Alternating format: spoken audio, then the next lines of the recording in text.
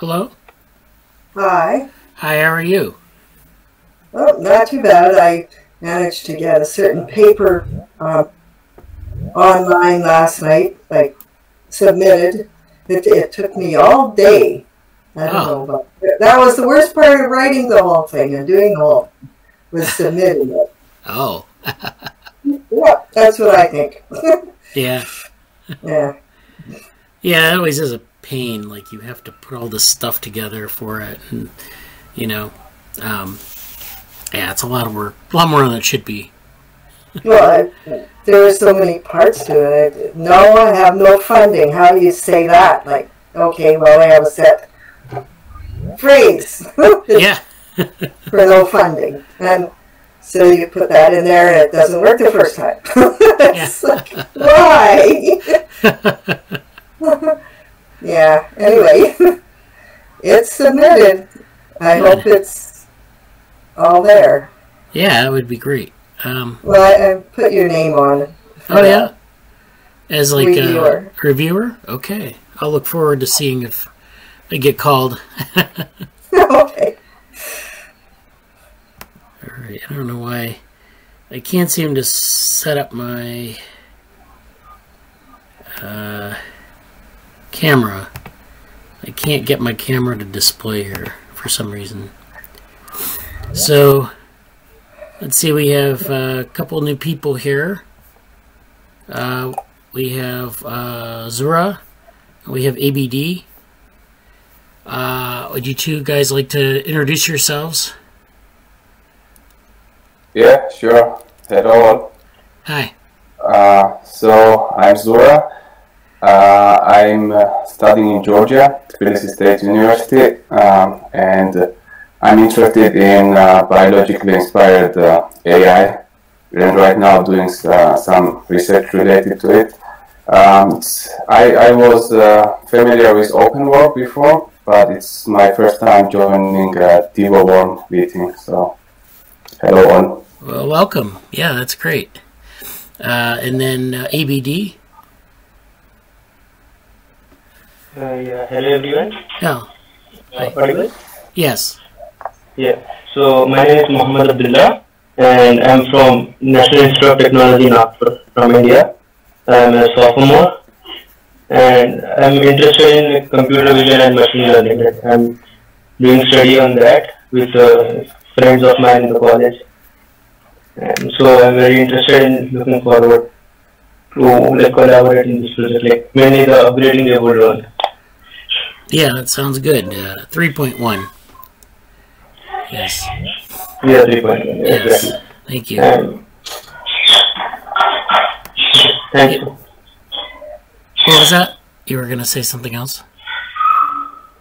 Uh, I have worked with uh, like uh, machine learning models, like basically PyTorch. I was just uh, recently trying to implement or basically understand the ResNet architecture and working on face recognition with that.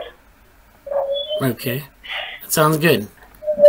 Sounds good. Yeah. And uh, like I've worked on some uh, project in involving pandas, like uh, it was automated data scraping and analysis with uh, some seniors of mine. Okay. and that, uh, that's all. Oh, good. Thank you. Thank you for the introductions. And of course, we have uh, people who've been here before. So, welcome Abhishek and Jesse and Tharun, Mainak, Susan, and Yash as well. Um, and Mayukh. Hello, Mayukh. Um, so, yeah. And Jesse says uh, plus one for inspired AI, bio inspired AI. Uh, so, yeah. Uh, uh, Zura, yeah, we, we do uh, a fair amount of stuff with bio-inspired AI. We're interested in that. Uh, we're kind of, you know, kind of it's a theme in the group, and then there's another group that we have that does uh, more work on the, in this area. So uh, we can talk about that later if you're interested in participating in that group as well. Yeah, sure. I'll, I would be super interested. Yeah, yeah. Uh, So, uh, so welcome to the meeting. Uh, today, I don't know why my camera's not working. Uh, it's keeps sending me a message, failed to access your camera, although I'm looking at it right now and it, the light's on, so I don't know why the the platform here isn't letting me access my camera, but I might be able to share my screen. If I can share my screen, then it'll be just as good. Um, first of all, I'd like to uh, thank everyone who's who's been uh, uh, communicating with Mayukh and myself on uh, GSOC applications, such Google Summer of Code applications. Uh, a number of you have sent your applications for us to read over, or I've read them over. I don't know about Mayukh, but um, and suggested you know how to make it, how to improve the, uh, how to improve the uh, application to make it better. And then, of course, we talked about the timeline um, I think the timeline is the most important part of the application. So those of you applying really to any kind of grant or uh, you know something where you have to propose a project, I think it's always a good idea to really kind of work out your timeline of deliverables and like get that down. And for grants, it's actually you know doubly important to go and you know uh, put together when you're putting together like a budget to do kind of the same thing to think about like every item and how you know if things are uh, if you run into problems during your uh, time that you're proposing you know what are your alternatives? Um, and so this is especially important with GSOC because we've had this in a number of years where we've run into problems with computing power we've run into problems with some approach not working and so you need to be able to improvise and and you know do things that won't tie you up or slow you down. So that's, I mean, I was going to put that into the onboarding guide, but I think that's probably okay. Uh, I don't, I, I don't know how to put it in there without making it a big long um, uh, uh, demo or, or tutorial. So I'm just going to say that in the meeting and just tell people that. So let's see if I can share my screen here. I think I can, actually. Okay, can everyone see my screen here? Yeah. Okay, good. So first thing I'd like to talk about is DevoLearn. So this is the this is the uh, GitHub organization that we have, and if you're applying to Project 3.1, you'll be uh, contributing to this uh, repository DevoLearn, and I see that uh, Vrutik, for example, has made a recent pull request here, and a number of you have made pull requests in this repository. So I don't, there's one open right now, but we, you know, that's, we always have people making, we've had uh, maybe about 10 to 15 pull requests this season. So that's good. Uh, I don't know if I can get to the pull, accepted pull requests or not. But that's okay, because I just wanted to point out that there have been a lot of contributions to this DevoLearn platform. And this is the platform that we're talking about here. It's in this repository. So this was actually Mayukh's GSOC project from last year. And he's been maintaining this uh, repository uh, since his project. So, you know, we had something called Hacktoberfest last year, which is a activity that uh, GitHub sponsors to uh, encourage people to contribute to open source platforms. And we had a number of uh, participants during Hacktoberfest making different pull requests. And, you know, in GitHub, if you make, if, you know, people are, are registering uh, different organizations, and if you make five pull requests to uh, any organization, and it can be across the organizations for the five, any organization that participates, you get a free T-shirt. So it's it's a, a, nice incentive, but I think um, this is the DevoLearn uh, sort of tutorial here. So if you're interested in Project 3.1, you should go to this uh, repository and, um, you know, look it over, make sure that you're... All right, so uh, Mayukh has made a link here. So yeah, he already accepted the pull request. Thank you. Um, so that's, yeah. Well, okay. Anyways, the, I don't know where the list of uh, contributors is. I think actually you can see it on the front page here. You have your 14 contributors in this repo. So uh, actually I think it's in the organization, but it's been mostly this repo. And then we also have other things going on in this platform. So this platform was meant to be like something that incorporated the software, which is a pre-trained model for uh, microscopy data. Then we have other types of things like the uh, DevoZoo, which is a list of model organisms. This uh, isn't quite ready yet, but it's being fleshed out. Um, we also have uh, some other uh, repos like C. elegans DevoLearn, which is the web app to support the C. elegans part of the DevoLearn library. So there, there's a library of models that we use as well. It's associated with the DevoWorm AI uh, web interface that I, I've been telling people about. And so uh, we're trying to put this all together. It's still kind of not quite, um, you know, in a in a place where we have like, you know, I mean, we're trying to promote it, but it's like, it's still a work in progress. And that's true of most open source projects, as you'll find. A lot of them are sort of built gradually and they have releases and, you know, just they get worked out. Now, sometimes they do a formal release for an open source project, but this in this case, we're not. You know, we'd like to get things out and, and get things built. So it's you know it's um, we also you know we have the inter, uh, web interface for a lot of this through the DevoLearn AI, which I've put the link in the Slack for that. Um, and that's a series of and some people have asked me questions about that in terms of you know what kinds of models are you accepting for your model library? And the answer is, you know, it's mostly machine learning models, mostly for microscopy data to segment and analyze microscopy data. But we're also interested in other types of models such as uh, simulations, cellular automata, or other types of models like that. And so we have, uh, we're building other repositories in here to accept some of those uh, models as well. We also have a series of data science demos where people have also contributed to this. So this is actually, okay, this is by repo. So in this repo, we have eight contributors, and they've all contributed some sort of uh, tutorial.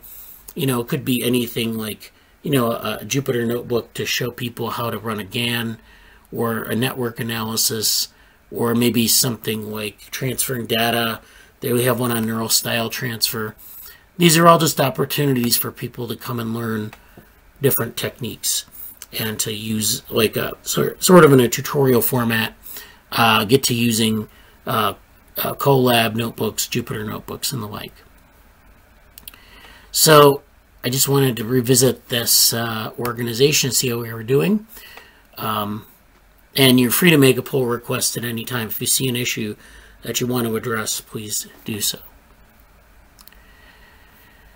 All right, so next up is the, I want to think, oh, well, we have the, uh, this, so this is the onboarding guide I've told people about, and I'll put this link in the chat as well. So this is our onboarding guide. And this is not just for uh, uh, Google Summer of Code, although it's sort of organized like that right now. But if you're interested in joining uh, DevoWorm and getting involved, this is a good primer to sort of give you some context about where we are. So, you know, we're in the OpenWorm Foundation. You're in the OpenWorm Slack when you come into the Slack, and we're a, a couple of channels in the OpenWorm Foundation Slack. But we're also sort of a semi-independent group. We have a website, we have a GitHub organization, and we have a YouTube channel. So we have a lot of different things that, you know, you can investigate for you know, to learn about like OpenWorm and DevoWorm and all these things. OpenWorm uh, has, we had in 2016, we had an OpenWorm open house. And this is for people who want to learn more about OpenWorm as an organization. Um, we have uh, a playlist from that open house of short talks on each project. So there's DevoWorm, there's C302, there's um, um, trying to think of some. There's like movement analysis. There's uh, Geppetto, and you know there are other projects that were presented during that um, open house, and we have all of those in here.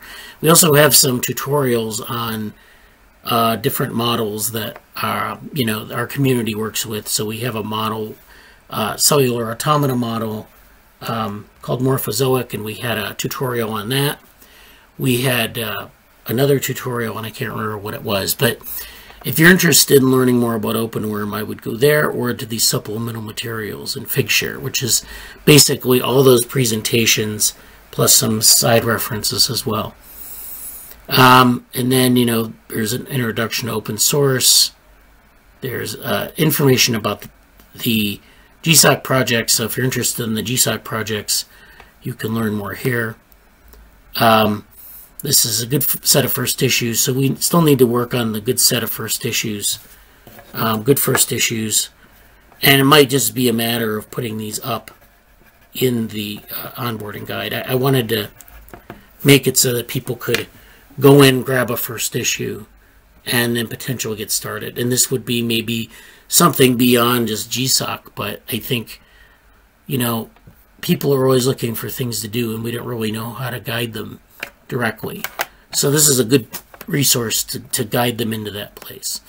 Um, we also have a little bit of information on model organism biology. So those of you working on Project 3.1, these are some basic resources for learning about C. elegans uh, from this idea, you know, idea about unlocking the secrets of the brain. So, you know, a, a big overview of why C. elegans is important to some you know, examples of micrographs of the brain, and then some links to some basic references on biology and microscopy. So if you want to know something about like how many cells a C. elegans has, or you know where it is in the tree of life, or you know different types of microscopy that you might use to look at C. elegans, that's all at that link. We also have some references on diatoms so if you're interested in, in Project 3.2, this is a good place to go for that. You have, uh, you know, diatoms are these really interesting organisms. Um, they're they're very ubiquitous around the world, like much like C. elegans actually, but they're a very different type of organism. So I would look at these references if, if you want to get some background for your proposals. And then finally, if you're applying to 3.3, there is this information about axolotls. So I have an introduction to axolotls and an introduction to axolotl development. And I don't know if, if Susan or someone else who is biologically oriented wants to add to this in terms of tutorials, you can send me information or, you know, links and I can put them in here. Because I don't know, you know, ideally I'd like to be able to have a couple more model organisms in here. Uh, it's not a of immediate need, but we, you know, if we want to sort of get people involved in some of these other types of projects. That would be nice. And then finally, we have biological data sets. some of you asked me about biological data sets. Uh, DevoZoo, which has a lot of different uh, data sets, not only from C. elegans and uh, diatoms, but from axolotls. And actually, I don't think we have, well, we have the axolotl data set, but I don't usually make it public. Um, then we have like zebrafish, and uh, Drosophila, and even spiders. So there are a lot of different model organisms to work with potentially. Um, then there's this movement database, which is not run by us, but by another group in OpenWorm. And, and if you want to play with those data, that's there's a link to that. We've in past years, people have worked with this this data to do interesting things. Uh, and then there's types of biological analysis, so you can read that over. Those are like once you get the data, then what can we do with it? What are, why is it interesting to, to build a machine learning model to extract uh, data points? Because that's what some of the GSOC projects are, and I want to make sure, actually I want to add to that a little bit more, but to make it salient to people why you want to uh, do this. So I would like to, um, okay, so we have any questions about that or, uh, oh, this was the closed uh, PRs on DevoLearn, so I think that's... Yeah, okay, so this will take us to the contributors. Thank you, Mayukh. I didn't see that before. So we have Vrutik, we have Mainak, we have Shruti, we have uh, Tharun, we have uh, Abtaha, we have um, Ravi, Jainal, so we have a lot of different people contributing to this Jesse Parent. Um, a lot of different people contributing different types of, and you know, it doesn't have to be a huge commit. it can just be a very small commit, and you can go ahead and um, make the commit. And it's usually Mayukh's Mayukh's um, uh, accepting the pull requests. Be patient. You you know you might have to wait a day or two, but we'll get to you and accept the pull request. If if there's something wrong with your you know, if there's some stylistic problem or some alignment problem, you know, then we'll we'll let you know. We're uh, Maya is been very good at like spotting errors in the pull requests. So thank you, Mayukh, for that. And we have, you know, it's, it's I think we're doing pretty well in terms of keeping the uh, quality of code up because that's been a problem in a lot of open source projects is uh, accepting substandard code. Um, and I have an article on that. I don't have it with me, but um, the, well, be, let it be known that, that that can be a problem, and so you want to be careful about that. Um, so good. Um, any questions at this point?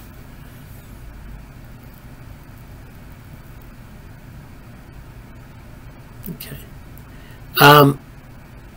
I want to thank Jesse Parent for going through the uh, the issues board and, and sorting it out. We haven't like talked about our issues board in a while, but we have an issues board for the larger DevoWorm group. So DevoLearn is like a small subset of what we do here. We do a lot of other things. We do things with submitting projects. We do a lot of stuff on sort of the boundary of computational biology and biology and, you know, uh, AI and data science and uh, machine learning. So we're doing, a, we have our fingers in a lot of pies. And so it's critical that we have these boards for uh, reviewing uh, topics and items. So we have all these GitHub issues, and some of them are, a lot of them aren't related in this board to specific code um, issues. So, like in the DevoLearn board, you'll find issues that relate to some code issue, something in the in the code base.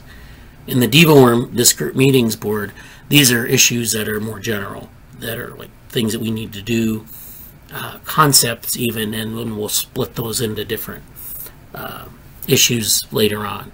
So we have a number of things that are in progress, finished action items. So we have these, actually this action item is finished. Um, but we have a lot of things that are sort of outstanding.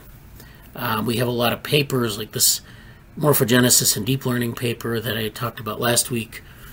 Uh, open OpenWorm abstract for International C. elegans meeting. That's actually uh, been submitted, but it's we're waiting to hear back for for, for it. Um, some of these things are like find a place to submit different abstracts. Uh, make network science submission is finished. Um, this Bacillaria non-neuronal cognition paper, this is something that we'll be turning to in the next couple weeks. The get data for Susan's spherical image axolotl, that's, I think, finished.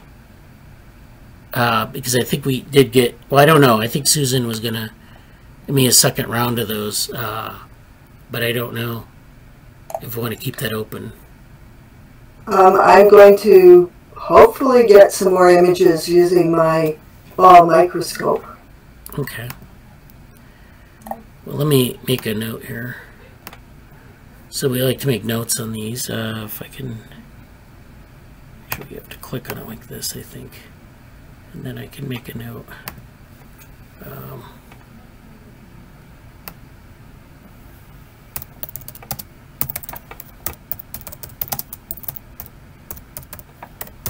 yeah, that's it. Um, so this is uh, there we go. Uh, that that's something that like that'll make it clear that that's not like just getting the data that we already have. So so yeah, I look forward to seeing that. Uh, this work on ANN's BNN's extended abstract. I think that's finished or we we submitted this to the ALIFE conference and I don't know what if it's been accepted or not but we, will probably work on like editing you know uh, making it better making you know there'll be opportunities to improve upon it. So I want to I want to say it's finished but it, it, will probably come back on our radar. Um, uh, Christian and myself we were working on these conference presentations. I'll talk about that in a little bit update people. Oh, updating the DevoWorm ML lectures. So last year, of course, we did this DevoWorm ML series, and I still want to update these. And I, I kind of was doing this at the end of last year, and then I stopped. Uh, and I want to get back into it, but I've been very busy. So this is something that we'll be doing. Um, I don't know if there's a link to the DevoWorm ML uh, repository here, but if you actually go to the main website, you'll see DevoWorm ML, and you can click on that, and that's basically a syllabus of this course. Um, we've updated like two or three so far, so it's it's you know, it's it's going along. So, um, axolotl embryo animations and segmentation. That was something that I was kind of hoping that we could get uh, through uh, this, you know, in this GSOC period, but I haven't. I don't know if we've done much with that, but we'll we'll make that like we'll put that on hold for now, and then see if we get some applicants for that. Um, how do we do this? Updates on da axolotl data and analysis in the action items column. Uh, recruit people as DevoLearn contributors. We're kind of doing that through GSOC. Um, so that's, you know, probably in progress. Uh, this DevoWorm bibliography. So I, have had some, uh, I think Jesse and Dick were talking about uh, doing this and maintaining it. So I, I don't know if we have any updates on that, but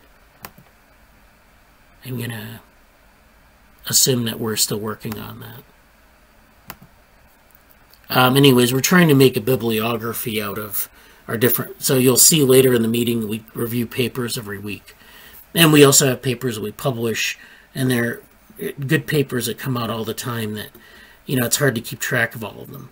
So we want to put together a bibliography, and maybe even not just like an EndNote bibliography or a Zotero bibliography, but like a an annotated bibliography where we have like a citation, a paper, and then we describe something about it underneath. And we can actually then use it to kind of, you know, have our own internal database for sorting those references. But I don't know if I should put that in maybe in progress. Um, yeah, we'll see what happens with that. Uh, we're also, you know, if you have anything that you want to make a YouTube tutorial for, like I showed that there we have tutorials for uh, data science, uh, like, you know, uh, digital notebooks for data science. But if you want to make a YouTube tutorial, maybe on a paper or on some other technique that you think is important to go over on YouTube, like, you know, record yourself talking about a paper or about, uh, you know, prepare some uh, PowerPoint slides and go through them and describe something for a wider audience, we can put it up on our YouTube channel and we can, uh, you know, that would be something that would be perhaps get a lot of views um, and be a, an important reference for some people. So that's something to think about. Um, this Great DevoLearn paper from JOSS submission, that's sort of, uh, I'm going to put this as an action item because I keep glossing over it every time I get some free time, and I, I want to get to this, but I haven't been able. We submitted a paper to the Journal of Open Source Science on DevoLearn, but they didn't think it was an important enough reference right now, so a resource. So I think you know we're going to create a, a, bigger paper that would end up being like something like a, a preprint or a technical paper and then maybe publish it somewhere in the future. So we're working on that though right now. Um, and then we're also always looking for this uh, people want to do visualizations in developmental biology. So we have creating an embryo model in blender and the embryo visualization. So one output for this, one, one venue for this is the OpenWorm Docker.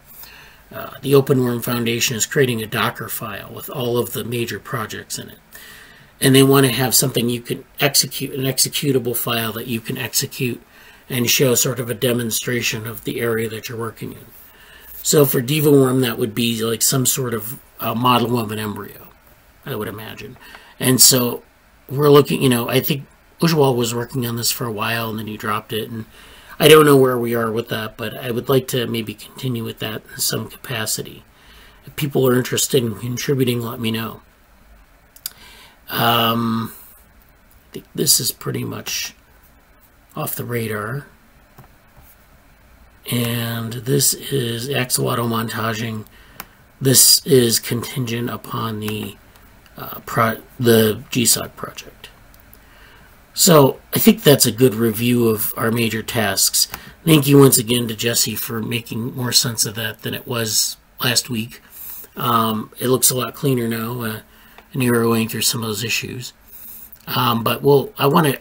I haven't gone through that board in a while, so I wanted to kind of give an update on that.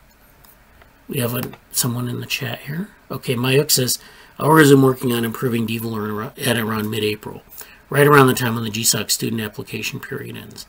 Everyone is welcome to help me in improving DevoLearn, regardless of GSOC. So yes, thank you, Mayukh, for that statement. Um, if you want to contribute to, you, can you contribute to anything in our group without being accepted to GSOC? The answer is yes. Um, if you feel that that's something that will help you in your uh, studies or your career, that would be fine. We're, we're, we're absolutely willing to work with you. Um, but right now we're doing the GSOC student applications. So the application period starts today and it goes through mid-April.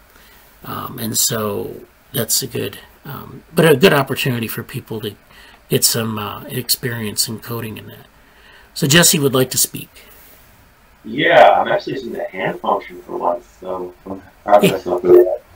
Um, one thing, because I'm looking at my notes from last week and looking at the board, and I don't know if this one was on the board or not, uh, so I might have missed it.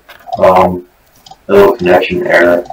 But um, there were a few things from that I, I took notes on for stuff to do. Uh, one of them was the boring billion stuff. Is that in there somewhere? Oh, maybe not. It might not be updated, but um, yeah, we should add something on that. I know we have it in the in the spreadsheet for submissions. Yeah. Um, is that what is that? Is that is that like a? Are we making a? As it, I think I've seen that's like a paper or an abstract, right? It's a yeah. It's so it's it wasn't going to be a paper, and we didn't submit it to the venue we thought we were going to do. So it's basically this this uh, paper. This, I don't know if it might might even be a book at some point where we're looking at this period of evolution called the boring billion. It's between the time you have like the establishment of life and like, you know, complex multicellular life. So you get like a long period where there's very little going on in evolution. Then all of a sudden you get like five or six kingdoms that arise at once or, you know, within about half a million years. And so this is like, why would that happen?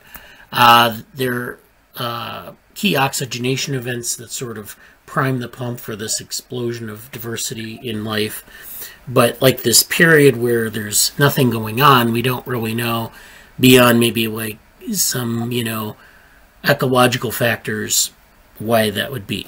I mean, you know, so, you know, it's it's a pretty open area because there isn't a lot of good data. You know, it's like we have a lot of, we're doing a lot of looking at uh, the paleontological data we're looking at, you know, we're considering, diff- we're, we're creating visualizations. I think I showed the visualization in the meeting of, you know, maybe like putting together a phylogeny to show, you know, where these things are with respect to the tree of life. So you can maybe make inferences about what maybe was responsible. There's, there's a lot going on there. And it's not like strictly developmental and it's not strictly C. elegans but it is a, you know it's an interesting topic I think to kind of get involved you know start to you know get people thinking about maybe like evolution or you know uh, simulating long time periods. Yeah i'm really interested in both of those things in general and obviously i have my own like frontier map perspective which this kind of fits into. Uh, so I, wanted to mention that. I made a i make it i made an issue um, that now. And the one on my list um, there were a few that came last time. Uh, but one was one was uh, Euler for developments for Euler for development. Oh yeah. There was computational toolboxes for math of DevoLearn. Yeah. Or math and model of DevoLearn. Yeah. Well, I, I wasn't. I didn't. I put them as notes, but I didn't quite know what those two things were, or the same thing. Yeah. So the Euler paths for life. Could you put these two on the board, please? Yeah. Yeah. So Euler Paths for Life is I'll talk about in the submissions. It was a, it's a paper that uh, we're working on. I'm mainly working on it. It's like a network approach to looking at like organization of multicellularity. So um, using a mathematical tool called Euler Paths to determine like if a colony, you know, a colony of cells is coherent or modular or something like that. And then, uh, and I gave a presentation on that earlier this or I think last year to the group, and I'm trying to get that back up and running. But it's you know, uh, it's something that probably requires uh, maybe some more thought. I, I was going to submit a paper to one of the network conferences this year, but I don't know if that's doable. Um, and then the mathematics of DevoWorm is something that someone in the OpenWorm group has solicited. Um, it's it's basically and I have it here, actually. Let me go to the... I have it open. So this is the mathematics of DevoWorm, and this is just kind of a first pass approximation at this. Basically, like spelling out all of the data structures and key equations that you might want to have in your back pocket if you're talking about development.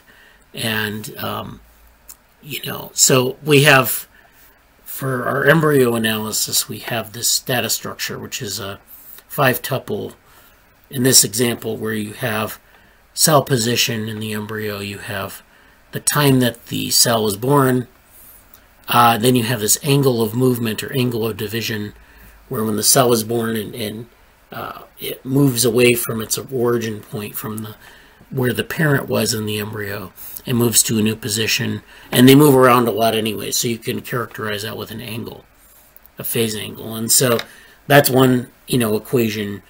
Then you have this von Neumann neighborhood, which can characterize cells behaving in parallel. They're doing a lot of signaling.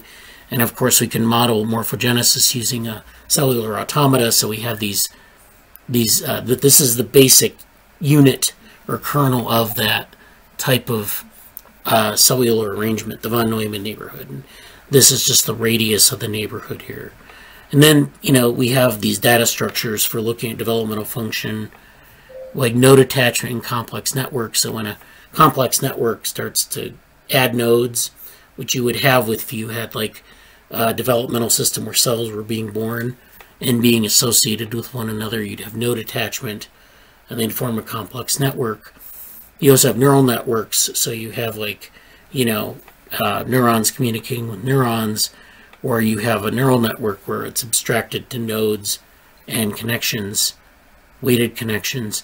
And then you have lineage trees, which describe the line of descent for different cells, as mother cells give birth to daughter cells and the like.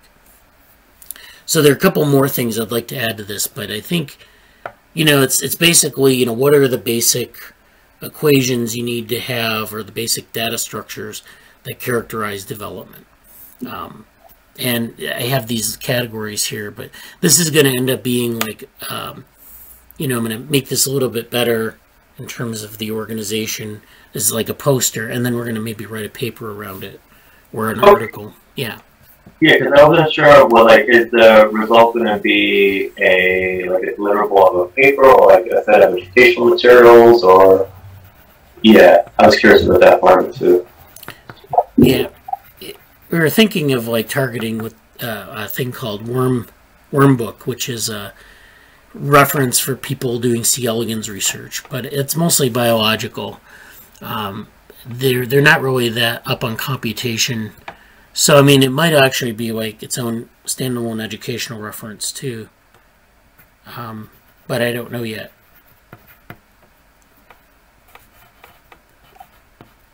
So that's good. Um, thank you for updating that. Um, so the yeah, next. Oh. That was all that I had for my, my notes. So okay, thank you. thank you. I'd like to ask: Does anyone uh, does anyone want to give a, a, short demo on something they've been doing this week? I know we've had people doing this. Um, they've been doing stuff for their uh, proposals and they've been working on. I know Mainak wanted to do one, but he didn't have time to do it this week. So we'll do that uh, Mainak's next week, but I just want to make sure I didn't skip over anyone who wanted to.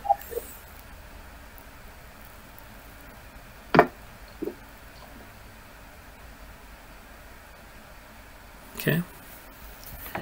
Um, okay, so I think we'll go into the submissions spreadsheet. And this, again, you, if you've been attending the meetings, you've seen this a lot. This is where we have our things that we want to remind people that things are due, they're coming due. Um, there's this evolution conference uh, at the end of April that is.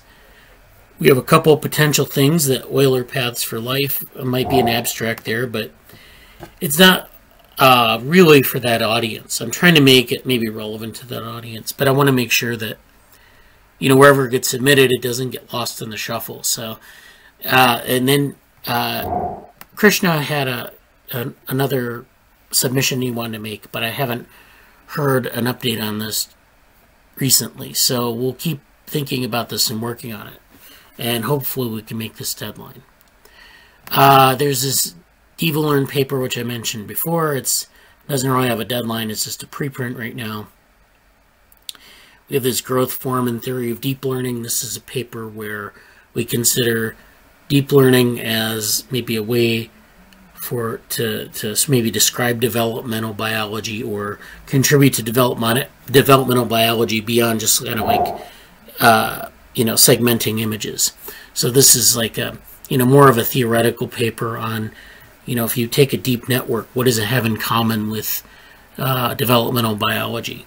And so you know that's a that's a very speculative piece in a lot of ways, but it's uh, if you want to know more, there's this uh, file on the drive, and we've worked out about maybe two pages of a, an extended abstract at this point. So let me put that in the chat. Okay. Okay, so Vrutik said, uh, I am still working on something and improving it. I'll go for it later. So that's very good. Um, let's go back to the submissions. So that's for this. Uh, some people, you know, there might be people who are interested in contributing to that who haven't seen this before. So um, there's this Bacillaria non-neuronal cognition paper. So this is a paper we're going to be putting into the Mathematics of Diatoms uh, book. And this is due April 30th. I, I We've already submitted a uh, proposal for this, so it's been accepted there. We just need to finish off the paper. Um, and it's just a matter of me and other people sitting there and going over it. Um, it's you know not a it's not a lot of work, but it's you know you have to get over that hump. So uh, Gleeson, who's uh, runs the C302 project, he uh, emailed me and some other people in OpenWorm like about a week and a half ago about submitting an, a poster to to the International C. elegans conference. Oh, hello, Krishna. Okay. Um, and so that was done. We we have a now we have like a, a OpenWorm poster submission. I think it might be even a talk. We don't know yet what track it's going to be accepted into, but this is the conference that uh, all the big C. elegans people go to, um, and it's like every two years.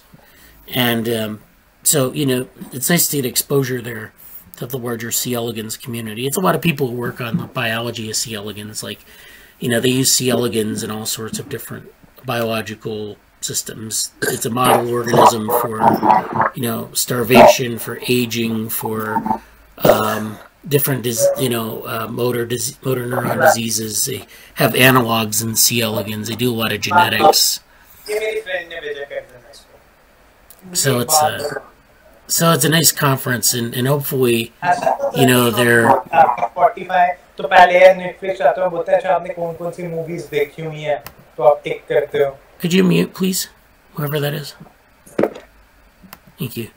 Um, so that would, you know, that's going to be, you know, hopefully people see it and are impressed, as they always are, um, with a lot of the work that OpenWorm's doing. Um, so let's see. This is this paper, which didn't happen. This embryo networks and connectomes. This is something that was submitted in Networks 2021, but um, you know, it's something that is sort of ongoing. It's it's in the form of a, an abstract, and this is actually something that uh, you know we have some net we have a lot of network science work in the DevoLearn group. We it goes back to our network embryos paper, which was published in Biosystems. We had another uh, paper on uh, developmental connectomes, which was also published in Biosystems. Uh, last year, uh, I wrote a paper on uh, developmental connectomes that was in the Frontiers, um, one of the Frontiers journals. And so the next step in this, I think, is to look at net, like look at developmental connectomes or developmental networks in embryos, and C. elegans is where we have a lot of the data for this. And so this this submission is actually um, how to take these connectomes and integrate, or how to take these networks and integrate them. So uh, this talks about um, extracting networks from different subsystems within the developing organism. And in this case, it's C. elegans. So you have this network that's like the embryo network, which is just a bunch of cells that are, um, you know, you have an embryo that's where the cells are dividing and moving around, but they're forming these proximity networks. So, you know, you can uh, use a different distance threshold and determine what cells are closer or farther away from one another. And so they, they, they form these networks that are, you know, basically analogous to some sort of, like, you know, if you think about like cell to cell signaling, uh, what is the sort of the efficacy of any, you know, signal that gets sent out by one cell? What other cells are within its proximity? So those networks can describe that structure across the organism. Uh, but you also have connectomes that are emerging. And so connectomes, you know, cells are differentiating into um, neurons, and they're also making forming networks.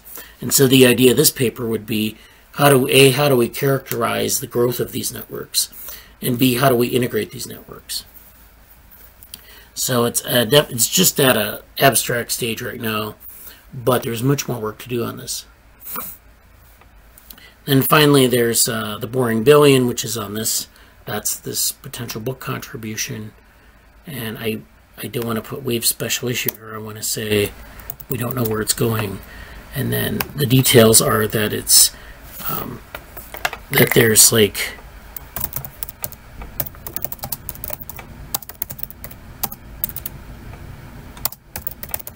simulating long time periods in evolutionary thinking. I just wanted to put those in because I think those are the themes that are like important for this work. Uh, maybe you know we can explore those themes more outside of this submission, but I just wanted to give people a heads up on that. Um, there's also this Kindle book, which is an interesting idea posed by Krishna, who's here, and uh, it basically compiling a lot of the stuff that we've done into a Kindle book. Uh, I don't know if you know that's still something that's on hold, but if other people are interested in contributing to that, it's something you can do. Um, we have this DevoLearn presentation at INCF Neuroinformatics Assembly, which is coming up in April. Um, you can register for it now. It's if you go to the INCF main page, incf.org, they'll probably have a link to the symposium somewhere. And this is an assembly where people present on different projects. Um, so we're gonna, I'm gonna try to present on DevoLearn and give like a, a you know, some information about, uh, you know, to a broader audience about what DevoLearn is trying to accomplish. Maybe some of the things we're doing in this group a little bit beyond like the scope of the platform, but um, this is the actual abstract for this. So this abstract uh, goes through some of our educational efforts in the group, and those served as the precursor of this DevoLearn platform then we talk about DevoWorm AI, DevoZoo. Those are all components. The pre-trained model is a component. Um, and then I actually want to talk about something in this that we don't talk about in this group so much, which is the idea of an epistemological directory, which is this thing that we work on in our other group, um, and, and, and kind of talking about how you might build one for this topical area. And so it's an informatics tool that engages newcomers with different topics and, and field specific concepts. And it's very important when you get into a new field to, to sort of get oriented. And that's what these directories do. And so um, I want to maybe talk a little bit about that as well. And then also talk about maintaining and sustaining this platform and how that might be achieved. Uh, just these are just ways, I think these are topics that INCF is particularly interested in. So, uh, but I think that that's going to make for a nice presentation. Hopefully, we get some, um, you know, we get some uh, press. I guess is the word I'm looking for on for this project. So there's a it's a, a big community. It's a lot of community interested in like the neuroinformatics of uh, neuroscience. So people who do like data structures and people do like you know data science and and other types of uh, interesting projects surrounding uh, building resources, you know, open source resources. So it's a really, I think it's a really relevant group to present to. Um, then we also have this ANNs, BNNs abstract that was submitted to ALIFE. We haven't heard back about that. If you're interested in submitting to NeurIPS, which is very, very competitive, I will say, but if you're interested in submitting something, a paper, the deadline is May 19th and the full paper is May 26th. The May 19th deadline is for abstracts. So if you're, uh, again, I wouldn't hold my breath if you submit a paper that's going to get accepted, but I, you know, if there's something that people want to submit there, um, definitely that's the deadline. And then they have a host of uh, workshops that are uh, very good, but also have later deadlines. So if we find one of those workshops and people find it interesting, please let me know and I can put it on the list. This is this Mathematics of DevoWorm book is the next one. That's uh, go into Worm book, and but it's right now it's a poster. And so if you have ideas for that, please let me know. Uh, finally, we have a couple of things. The Society for Developmental Biology conference is happening uh, this summer. So submissions for that are April 19th the submissions are a bit, you know, it, it like costs like, I think $50 to submit an abstract. I'm not crazy about that, but this is the information for the meeting in this link if you want to know more about the meeting. And then there's this Living Machines conference, which is uh, something that if you're interested in develop or if you're interested in bio-inspired AI, is maybe a potentially good place to submit an abstract or just attend. And that this is uh, happening sometime this summer. I don't think the website is up yet for this year, but it's uh, something based out of Europe. But they do cover a lot of things on like living machines and bio-inspired AI and things like that. So that's that's our update on that. Um, finally, I wanted to go, well, actually, I wanted to talk about this before I get into our papers. And this is sort of related to our papers. This is a new distill paper on neural cellular automata. So we've talked about neural cellular automata in the past.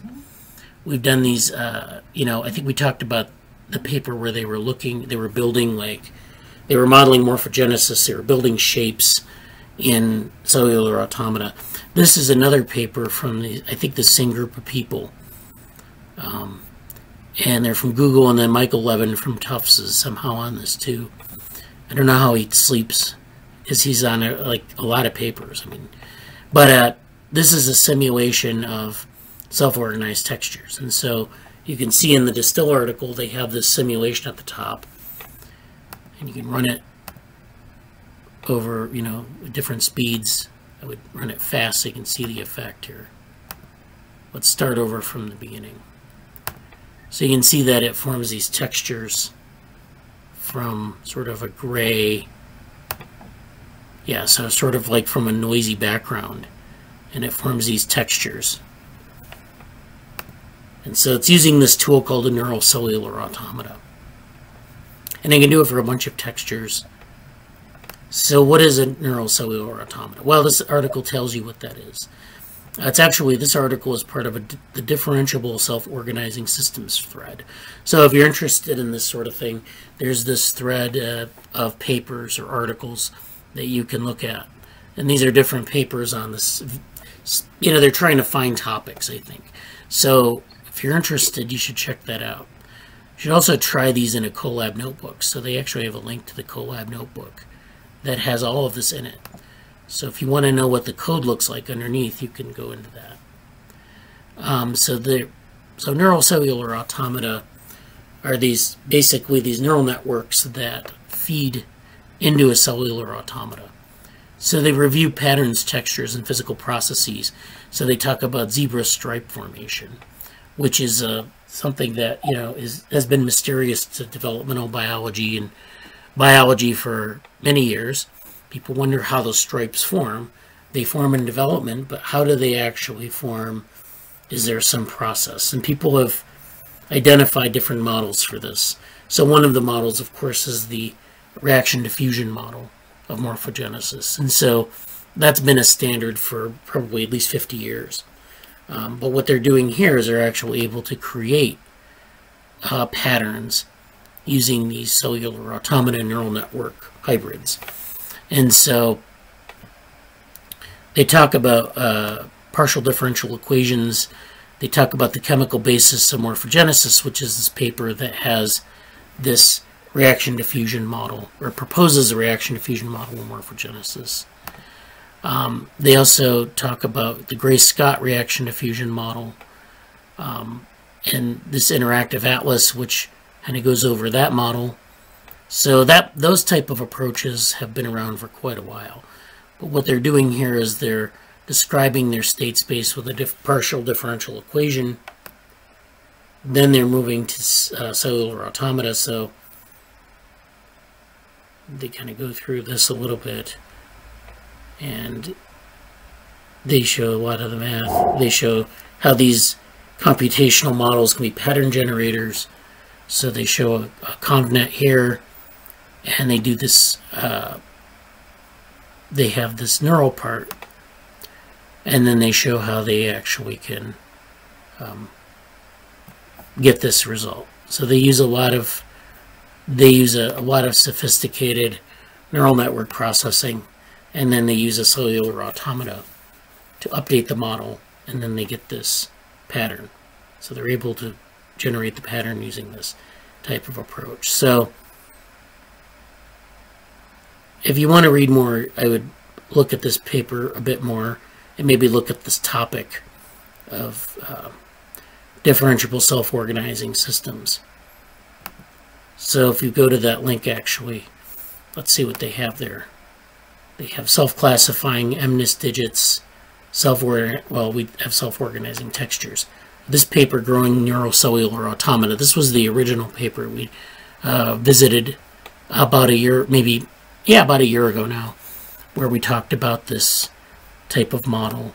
Um, but they didn't give as much detail in that paper as they do in this paper. So I know that Shruti, who's not here today, is interested in cellular automata. So if you're interested in that topic, um, you know that's a place to go. Uh, let me put this in the link in the chat here, so we can. People are interested; they can go look at it. Susan says the reaction diffusion model might be a mechanical reaction diffusion system. That's true. And there are other ways to approach this. I know they're generating a lot of patterns with this but there, you know, there's a lot of life left in the reaction diffusion models that we have um, that are the classic models, and so, and we've also, you know, done a lot of good pattern formation simulation with just straight up cellular automata models. So you don't necessarily need a neural network to put on top of it. You can do this with like a regular CA. And the question is, is this the CA sufficient or do we need more? You know, or can we just use like a, a reaction diffusion model? But I think the point here is they're trying to solve the PDEs that form this reaction diffusion model with the neural network, and that's the kind of the gold there in the in the uh, in the model. And so I'm going to talk about some papers now. So if you have to leave at the top of the hour, you can leave if you want. But I'm going to uh, go over a couple more. I'm going to go over a couple papers before we end our meeting. Um, I think I will talk about some of these. So, uh, I might mention. I was going to mention the embodied intelligence workshop, but I can do that after the papers too. Oh no, just go like, ahead. You can do that now, actually. Yeah. Um, just, just. Uh, I might quickly share my screen with it. Okay, let me unshare then. Um. Okay, yeah. you can go ahead. I think, am I starting my career now? Yeah, yeah. Okay, um, just because I, I actually saw this one, this is a big event last week, and kind of with the other group that I'm in, uh, we, we were, a lot of us were there. But I wanted to mention it quickly also because uh, there's a mention of Bioinspired AI and also the, the Living Machines conference that's on the submission, the submit thing here.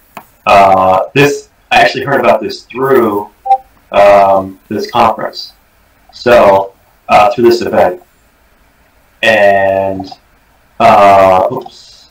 So it's a really I, I'm, I'm kind of writing up a little article or report on it. Um, I, I took in a bunch of notes on it, and uh, Bradley and another uh, member from our group, Stefan, pre- presented at it, and uh, Daniela was also at it. So there are, there's sort of a lot of like direct or adjacent people involved with this, and um, it's where does it explain what it is? Um, basically, it's it's it's a, it's a quite a multidisciplinary look at, at embodied intelligence. There's stuff from bio, there's stuff from soft robotics, there's stuff from philosophy, uh, there's stuff from um, cognitive science, uh, systems neuroscience, Kristen Shepard, Josh Bongard, um, a lot of a lot of a lot of surprisingly big names uh, were at this event. Uh, Brock Golden, um, and and many many people. Um, uh, that and so I would just say check this out if you're interested in it in, in the Slack. And there's also uh, what's really cool is the videos are, are, are available now on YouTube. So so you can pretty much go back and look at and the discussions on a lot of them. Um, like this, there's a lot of good stuff here. Um, I presented at, at some at things for my own Cognition Futures project and Frontier Maps, and Bradley presented some stuff about developmental AI. Um, and, and so there's a lot of good things here. And uh, there's also a little like uh, like a podcast series that, that they're running adjacent to it. Like it's, it's in collaboration with the the soft robotics uh, podcast. And like issue, so you can hear some of the things here. I guess I guess Preston put that in there too, which is cool. Uh, but just putting this out there as like this is a really cool event that, that went under the radar because it's I don't think they really happen I, I looked at the history a little bit. They don't really happen regularly necessarily, like every couple of years maybe. Um, and they changed the title, so it's not like a consistent thing. But uh, I think it's kind of spearheaded through through Cambridge and some some other places in Europe, kind of the, the spirit for it. But uh, definitely worth checking out. Um, you can see some of the people here. Um, and if you're interested in that, mention it in Slack, and uh, we can talk more about it. But I really recommend looking at this from from a, a quite a diverse group of perspectives, looking at um, embodied intelligence and, and people looking to kind of you know engage some frontiers in that topic. That's not love for that. Thank you, Jesse. Uh, yeah, so yeah, we had a so we don't talk about embodiment too much in this group, but it's very relevant to development. Uh, we're talking about you know uh, uh, you know you know uh, developing systems, a developing embryo, which is going to become a body, and then you have a developing brain within that, which is also going to be interacting with the body to produce behavior. And so we don't talk about all those parts all the time, but I think that's an important, you know, those are important things to think about in development. It's an area that's not really been that well explored. There are some really cool papers. I don't think I'll get to those this week, but um, definitely it's something we should talk about more in the group. Um, thank you for that, Jesse. Um, and if you want to know more, you can uh, we can raise some issue in our Slack about it. It you know it's up to people what they want to talk about. But uh, so I want to talk about some papers. So actually, the, I'm going to talk about this folder first. I decided. So, uh, in in talking about this uh, boring billion uh, work, one of the uh, ideas is that you know we might be interested. One of the things we can learn from this work is like simulating long time periods in, in evolution. So this means going back uh, probably over you know up to a billion or more years ago. The boring billion was you know several billion years ago, or several you know it was the boring billion ended around a billion years ago. So there's a billion years of diversification of life after that. And so, you know, what can we learn about development during this billion year period that we have? Uh, is, is life diversified? we needed to have organisms that had a developmental period. So what what what can we learn about that period? And what does it tell us about development? So I have a couple of papers that are really interesting I've found, and this is a theme we can continue on. Uh, but this this is just something that I found. A couple of things that I found. So one of the uh, papers is this paper on. Um, uh, all right, let me go down to the actual title here. I don't think that's there's a title page though in this one. Okay. Um, an oviraptorid preserved atop an embryo-bearing egg clutch sheds light on the reproductive biology of non-avian uh, theropod dinosaurs. And so what that means is that they're basically, they found a bunch of embryo or embryos in the form of eggs uh, from dinosaurs. And so, so recent studies demonstrated that many avian features evolved incrementally prior to the origin of the group, which is basically birds. But the presence of some of these features, such as bird-like brooding behaviors, remain contentious in non-avian dinosaur. I don't know what avian means, but um, it's um, they they like to classify life in different ways, and especially in paleontology, they'll use different language for it. So um, here we report the first non-avian dinosaur fossil known to preserve an adult skeleton atop an egg clutch that contains embryonic remains. That preserved positional relationship of the adult to the clutch, coupled with the advanced growth and stages of the embryo and their highest debated incubation temperatures, provides strong support for the brooding hypothesis, which is a hypothesis for um, maybe how they raise their young. I'm not really familiar with this literature, so I'm kind of feeling through it here. Uh, furthermore, embryos in the clutch are at different developmental stages, suggesting the presence of asynchronous hatching, a derived feature even among the crown, uh, crown group birds. These findings demonstrate that the evolution of reproductive biology along birdline archosaurs was a complex rather than linear and incremental process, and suggests that some aspects of non-avian theropod reproduction were unique to these dinosaurs. So this is, I mean, this, let me see. So there's a lot of, as I mentioned before, there's a lot of really interesting paleontology going on in China. They have some nice assemblages there of different things, of flowering plants, and of, of, of this dinosaur era uh, specimens. And so uh, I don't know if there are any pictures in here that we can see. I think that would be most informative.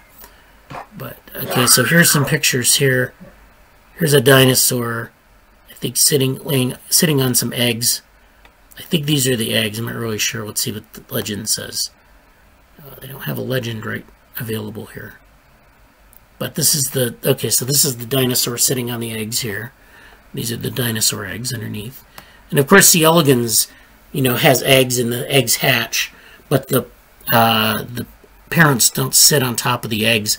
They kind of leave them in the deposit them in different places and go about their business. In this case, you have an organism where they need to sit on their eggs to make them warm enough so that they'll hatch. And so this is sort of, you know, we know that birds do this, of course, modern birds. Um, but it's sort of a, you know, a different way of doing this than C. elegans or humans who go live births. And so this is another, um, I don't know what that is. This is a tree of life. This is a phylogeny showing the relationships between these different uh, dinosaur groups and the bird groups. And so this is another case where they're showing some of the remains here. And so this is a an interesting paper. You know, you might not you might not understand a lot of it, but it's it seems like it's a pretty interesting paper for learning about like what you know you can find a fossil of an egg and a fossil of an embryo and what those look like. The second paper is developmental processes in Ediacara macrofossils. So the Ediacara biota preserves the oldest fossil evidence of abundant complex metazoans, which are basically animals. It's a group that incorporates any animal cell, any organism with an animal cell. So that's what metazoan is. Uh, despite their significance, assigning individual taxa to specific phylogenetic groups has proved problematic. To better understand these forms, we identify developmentally controlled characters or traits in representative taxa or, species or groups of, or biological groups from the White Sea assemblage and compare them with the regulatory tools drawing similar traits in modern organisms.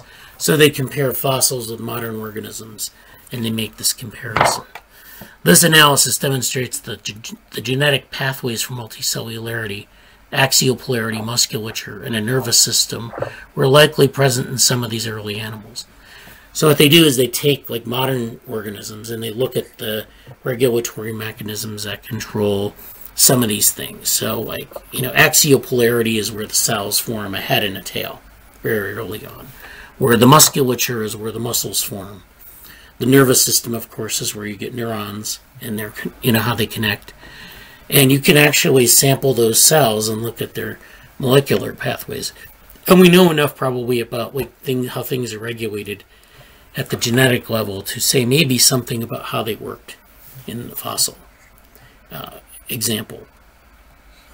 So, equally meaningful is the absence of evidence for major differentiation of macroscopic body units, including distinct organs, localized sensory machinery, or appendages, meaning that there's this lack of evidence that there's this that there are these modules within the organisms in this in this uh, so this is 570 to 539 million years ago and so this was a long time ago this was, I think, probably before the uh, Cambrian, which is where you get a lot of the modern body plans, and uh, you know, it's that's not so well. It's important to know because basically this is before you get a lot of the modern um, diversification of phenotypes.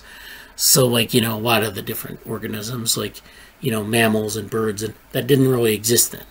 We just had like you know simpler organisms that had smaller you know, smaller numbers of cells and, you know, uh, maybe very rudimentary nervous systems, but probably not. Um, and so that's uh, an apparent lack of heads with concentrated sensory machinery or ventral nerve cords in such taxa supports the hypothesis that these evolved independently in disparate clades or groups of organisms.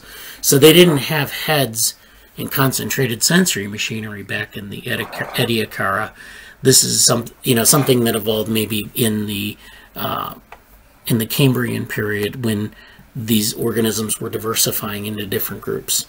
And so this is interesting because you know it kind of gives us an idea not only of development but also of, of evolution and how these things kind of emerged um, and when they emerged. And this so this is a you know this is a, kind of a different approach. They're using fossils and then they're taking modern organisms and they're kind of making a comparison between the different things that they're finding in this assemblage and modern organisms or modern sort of analogs that they can use to understand what's going on in these organisms.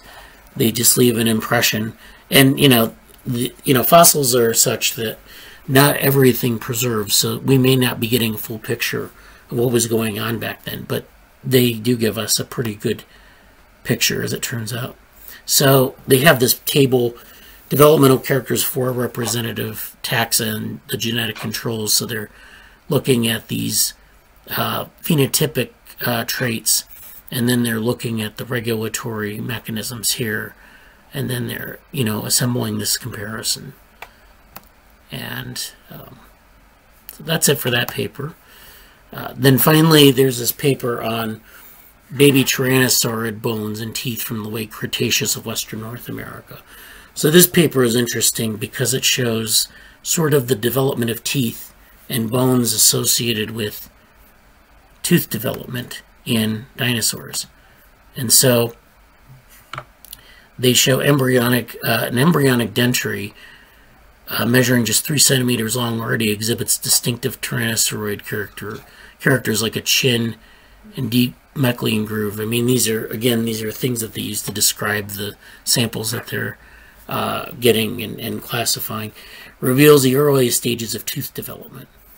And so they, they kind of discuss like some aspects of like tooth development in a dinosaur and like, you know, evaluated. This is very much hardcore paleontology in this paper, so I don't know how much you might get out of it. I'm not really seeing a lot to highlight in it um, for a general audience, but it's definitely like you know intriguing to see how you have this basically have this developmental model from millions of years ago. So you can see a picture of the teeth here, um, and they look like you know the precursors to teeth. So this is all very good stuff. So I mean, this is all food for thought. I, I would like to maybe explore this a bit more, but I think it's fascinating stuff. Um, one final paper I'm going to talk about today. Actually, I might, well, I think I can talk about this one. Circumventing neural damage in a C. elegans chemosensory circuit using genetically engineered synapses. This is a relatively new paper. Um, so this, uh, these cell papers often give like a graphic at the beginning, a graphical abstract, and so this basically summarizes the paper. So you have this, this is an adult C. elegans. This is the head, this is the tail, and here's an odorant. So this is a, a stimulus that the head is moving towards. And this is, uh, you know, this is uh, responsible for this is this chemosensory circuit, which is part of the nervous system. So the worm has sensory neurons in the head that pick up this odor and can track the odor and move towards it. So the circuit is formed in development and then persists across the adult phenotype. And if you can, you can create mutants that have defects in this circuit. So cells cannot uh, grow up in development and affect the uh, formation of the adult circuit, or you can have connections that don't form. So there are other, you know, there are a number of ways that this chemotaxis circuit can be perturbed or, you know, um, made not to work. Uh, and so that's what they show here is that this chemos chemosensory circuit has actually, in this case, um, suffered some neuronal damage. But it can also be that there are some mutants of C. elegans where this is damaged uh, through a genetic ablation or a genetic knockout of some gene. So in this case, the basically the short of it is is that this chemosensory circuit is un, uncoupled or unwired and so now the worm doesn't recognize the odor at all. And this is bad for the worm if, if the odor is the signal they need to find food. Um, and they don't have vision. Uh, they have some other, they have mechanosensation and they have chemosensation. So if they don't have good chemosensation, they're probably in a lot of trouble. And then finally, in this paper, what they do is they knock out part of the circuit. And then they inter they have a genetically inserted synapse that they can put in. They can control, they put in a genetic element into the worm, and they can control where these synapses form.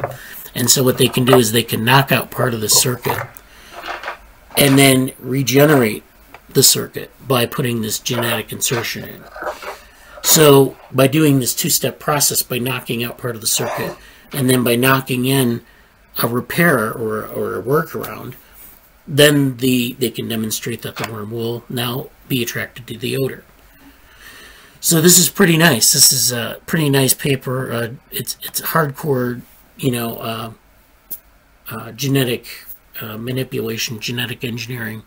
But you know, if you follow through, you follow this basic logic that you know neuron loss disrupts chemosensation. You can insert a synapse, an electrical synapse, to circumvent the damage you can find alternate pathways for information flow.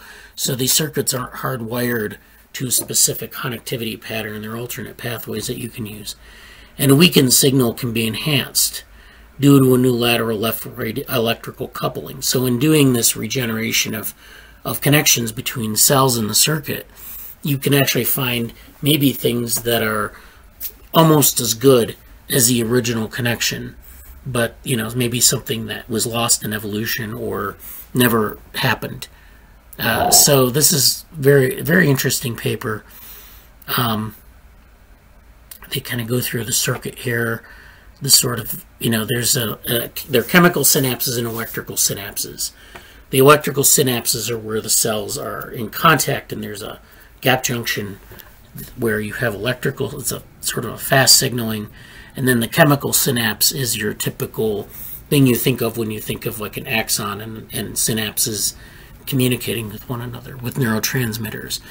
Um, so you have those two types of connectivity, and the C. elegans connectome, of course, as we know, you we've defined every cell, and every cell is, you know, has a defined role uh, from development. So we know like how to manipulate this thing pretty well as a consequence, and so that's what they do in this paper. They manipulate it.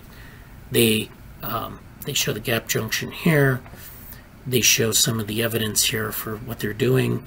They're able to verify these things. If you don't know much about how they do these knockouts and knock-ins, they use a fluorescent element to uh, find like different things that are expressed, and they can tell whether some gene is being expressed in a neuron. These green blotches here show like different cells where a gene is expressed, and if they knock it out, then they can look under a microscope and see that that green blob is no longer there. If they knock in a new element and they want to see if that gene is being expressed, then they can look under the microscope and see that the green blob reappears there where they've knocked it back in. And so all those things, you know, those are that's the way they sort of verify this stuff. So they know that that's what's responsible for this. And so this again is another example of the connectome with the cells and the connections, chemical and electrical. And then they have these synthetic electrical synapses. So they form these gap junctions between cells artificially. They knock in a an element, they can verify it with these green blobs, and then now they should observe res restored function in this circuit. And so that's exactly what they observe. And this is an example here of uh, sort of an, a figure six or a figure seven. This is a famous thing in biology papers where they show like the, the higher level concept they're trying to communicate in this figure. And so in figure six, they have distributed information flow in the C. elegans olfactory circuit they show sensory neurons, interneurons, and then going down to motor neurons.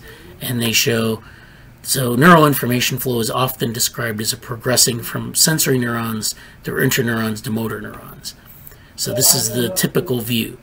Our study highlights the importance of a more distributed flow of information between interneurons, so between these cells, and within neurons. So within sensory neurons even there's communication. So it's not a hierarchical system from sensory neuron to motor neuron, as a lot of people like to characterize it as a feed-forward network.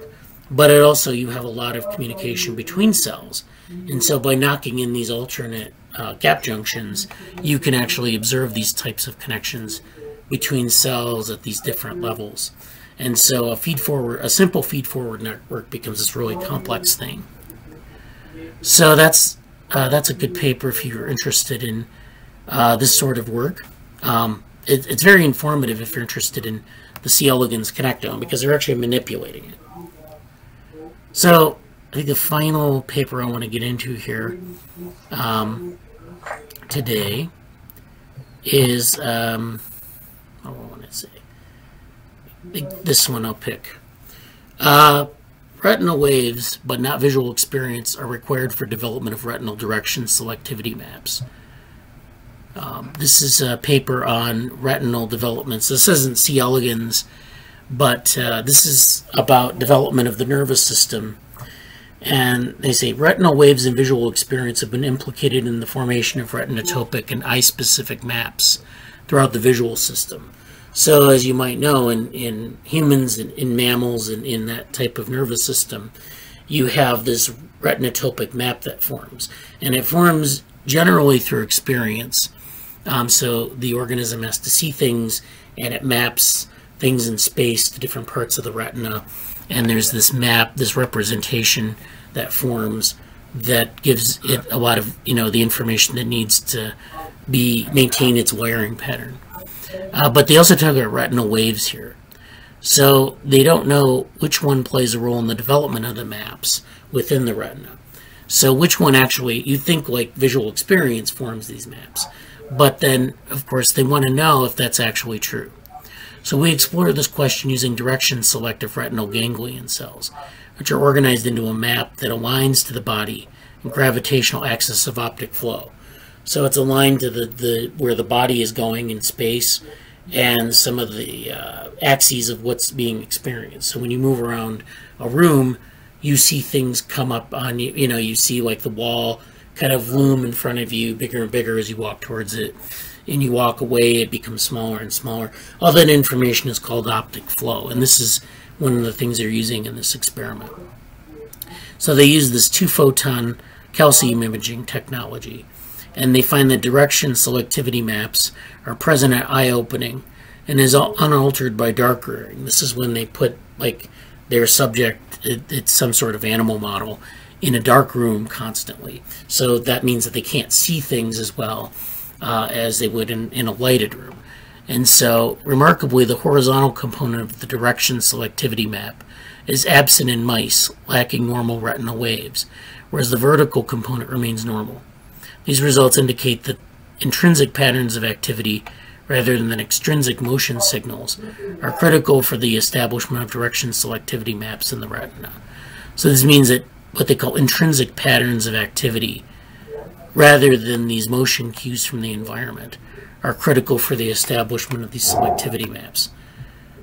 So they kind of go into the, the details of this, um, you know, how this happens. They do these experiments in light and dark. And basically, you know, people think that, you know, uh, experience dependent plasticity is where you see things in the environment and you learn from what you're exposed to. So if you're exposed to a sparse environment, you don't get as much of that experience. If you are exposed in a rich environment or a lighted environment, you get more things that you interact with and you, you can detect visually. And so what they're saying is that's not really the only aspect to this. There's another aspect, which are these um, retinal waves. And so I'm trying to find an example of what they mean by retinal wave exactly. But um, they show that there's some results that occur in mice that you don't necessarily see in a model like a ferret, which is another model organism that they use for this sort of thing. These findings indicate direction selectivity maps are well established at eye opening, independent of visual experience. So these maps are actually formed not just by just pure experience, but there's an underlying biological sort of process that goes on to form them. And so this is all, you know, these papers are usually not like terribly synthetic in terms of like what the findings are and, you know, placing in the larger context, but it definitely has a lot of detail on some of the things that they've found in their experiment and how it's relevant to things in the literature. So I think this is a really good paper for like, you know, I know Jesse's interested in this, and if you're interested in biologically inspired AI, this is interesting. There are other papers that have come out recently on other types of things using neural networks to model some of these processes. So we'll talk about those maybe next week. Um, so I don't think there are any good pictures in here. No, but I, I can share these papers with people if they're interested. So I, I guess we've lost a lot of people here, but um, thanks for those of you who stuck out the meeting.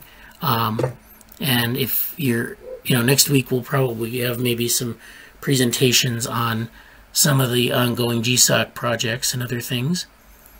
Um, otherwise, I let's see, we have a lot of things in the chat I can go through before we go. Um, yeah, so we had people who had to leave. Um, paper references in Zotero. So Jesse put some of these in Zotero. Thank you. Krishna had to leave. Susan had to leave, actually. No, she's not quite left yet, but um, and then there, yeah. So people will leave basically. Okay. Um, but yeah. So do we have any questions before we go? Uh, I have one question, Bradley. Okay. Uh, so, uh, suppose I'm interested in studying uh, behavior of C. elegans, right? Yes. Uh, right. So, for example, um, there is a simple environment and there are several food uh, spots and um, we would like to predict where the C. elegans would go, which food source it will go to first, or there are some obstacles and uh, how it will behave uh, depending on different kind of obstacles. Like, have you uh, have you either you or uh, OpenWorm has done any work related to that, like modeling really simple environments and then uh, trying to um, trying to do some uh, machine learning agents compare to the real uh, worms, how, how they compare with each other? Uh, I think that uh, some of the people doing the movement work, so like the movement uh, validation group, they've I don't know about obstacles, but they've definitely looked at like movement and C. elegans. So C. elegans has very stereotypical movements. Sometimes they do movements to back away from a food source or to move towards a food source. You know, and they do other types of movements like that. So they have a lot of that characterized in in in that movement database that I showed earlier. Uh, I also know that the Geppetto people are also interested in doing work on um, different, um, you know, different types of like simulating behavior. C302, of course, is uh, they do this stuff with like simulating the, the connectome. But I think like there's some somewhat of an interest in using machine learning to sort of validate some of these behaviors. But I don't know if anyone's working on that very thing. So I don't know if you might you might get in touch with some of the people in Geppetto and some of those other uh, groups as well to see what they're up to, what the latest what they're up to. I don't really know what they're the latest thing that they're doing, but yeah, I would say, uh, uh, I, uh, for example, I would not. Maybe I'm not interested in like detailed uh, movement of the C elegans, but I'm more interested in high level, if you can call it, uh, cognition abilities, uh, or how do they choose one mate or another, or how do they prefer one food source over. If you get an idea of what I mean. Yeah, I know. Yeah, I'm familiar with that. Yeah, it, I don't know if we're doing anything like that currently. But um, actually, Tom Portegys might be someone to talk to. He, he sometimes attends this group, and he's doing some work on with agents. Um, he does he works in the robots channel sometimes too, and he's doing a lot of work with agents and simulating behavior and things like that. So he might actually be a good person to talk to. I don't know about like, uh, you know, I don't know what he's doing in C. elegans right now, but like he's definitely interested in those topics. Yeah, and also this uh, multi-agent reinforcement learning is kind of hot topic right now, and it would be interesting to see if there are some opportunities here. Uh, so, how does Tom? How how's the last name? Can you type it in, in the chat? Yeah, let me type it in here. Yeah, this is all interesting stuff for me too. And um, I think there's a little bit of overlap to like the brain vehicle stuff, but um, you know, I think multi-agent reinforcement learning is an interesting topic in general. Yeah, yeah. My other group were kind of interested in this stuff too. So the other group that we have, and you can contact Jesse uh, Parent to get in the loop on this, but we do this. Uh, we we have we've been working on sort of topics like this, like reinforcement learning and other things that are maybe more interesting, you know, in terms of the higher level behaviors. So that might be an interesting conversation to have uh, as well. Okay, thank you. Yeah, thanks. Thanks. Okay, so uh, if you don't have any other comments or questions, uh, everyone have a good week um, meet next week or be in touch via Slack. So, okay, here. Thank you.